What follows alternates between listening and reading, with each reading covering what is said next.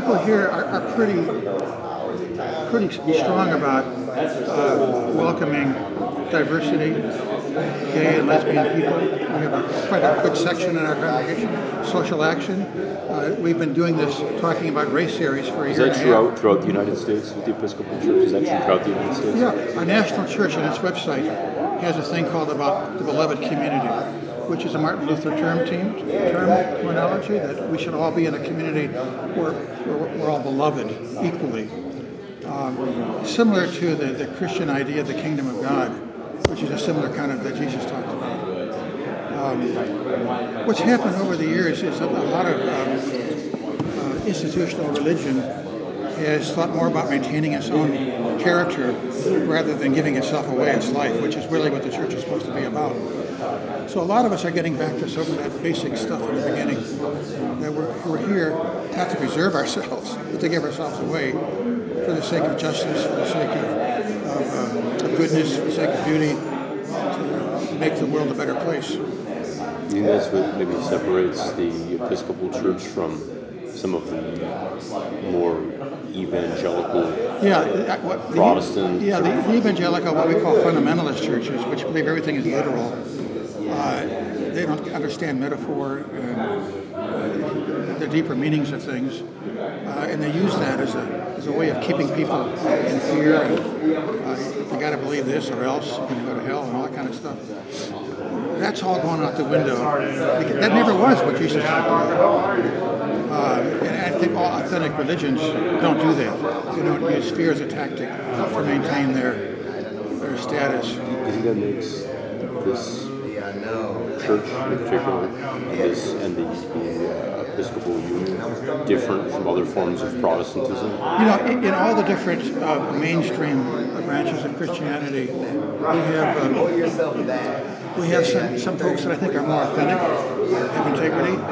Then we have some that aren't so. You're going to find that in any. You're going to find that in, in, an atheistic system as well. You're going to find some people that are troublemakers and um, not helpful, and others that are very authentic and The secular nations in Europe tend to have fairly low crime rates, though, don't they? Compared to the United States. I mean, we have Yeah, our crime, well, we put people in jail. Our jails have more people in it than all the other jails in the world combined. right. We have a lot of the world's inmates. we have a lot of Yeah. violent criminals, though. Yeah, so it's a form of slavery. We have a lot of violent criminals, We have a lot of violent criminals, though. but, but we also have a culture that perpetuates. that, that perpetuates that. Really, Well, okay, in Wisconsin, if you look at Wisconsin, why does Wisconsin have the highest rate of incarceration for every type of minority male, even ones like Native Americans and East Asians who commit crimes at lower than average rates? Why is their incarceration rate not only the highest in the country here in Wisconsin, but it's much higher than it is for white men? We're going to be It's talking about that tonight. Yeah, a it's- little it, bit. it is interesting that there are microcultures within the American macroculture. We've had 350 years of slavery. The Emancipation Proclamation said it was illegal, but it didn't stop. They just formed new ways. To convict somebody and put them in jail. Well, and, and they, they, they, uh, they used people because they couldn't find a job, and they didn't do nothing. so they hired them. And when they hired them, they were essentially under the, the influence of the, of the corporation or whatever, and they essentially became slaves. They didn't have any other options. When a young kid today grows up, you know, they get that, that, that parent teaching about don't cause trouble with the police Right. because you keep your hands on the dashboard when they pull you over. Don't put your hands in your pocket. Uh, so that from, from childhood on, they're, they're learning that they are in some ways different and not as good as. Do you think? I mean, do you think white kids get that lecture too, or no? They don't. Yeah. They do? White, sup- did what, does what? Do white kids get that lecture about cops from their parents as well? Or Not no? the same way at all. Totally different. Like, do you have any studies to back that up, or like? Oh yeah. Really? Oh yeah. A lot of lot of data, a lot of statistics. Tonight, they may get to that tonight. Some of that stuff. We have a, a social action uh, book group that actually meets this Wednesday here. Um, I'm reading a book now called "The Syndrome of, um, of uh, Children when they're, when they're when they're born into our culture and the American culture." Uh, they're born into this inferior complex. Um, they, they hard, in the education systems, why is it in one of our zip codes that not 75% of all the men are in jail?